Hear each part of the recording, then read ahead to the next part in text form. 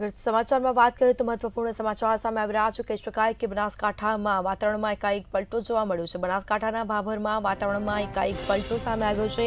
તો બીજી તરફ કેશકાય કે વાલી સવાર થી જ ગાઢ ધુમ્મસ થી ચાદર છવાય છે સરહદી વિસ્તાર માં 10 કિલોમીટર 10 મીટર સુધી વિઝિબિલિટી ડાઉન જોવા મળી છે વાલી સવાર થી જ સરહદી ભાભર માં કાશ્મીર જેવો માહોલ સર્જાયો છે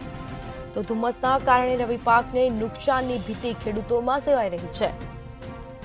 તો બનાસકાંઠાના ભાભરમાં વાતાવરણમાં વહેલી સવારથી જ એક પલટો જોવા મળ્યો છે વાદળછાયું વાતાવરણ જોવા મળ્યું છે સાથે જ કહી શકાય કે વહેલી સવારથી જ ગાઢ ધુમ્મસની ચાદર છવાઈ છે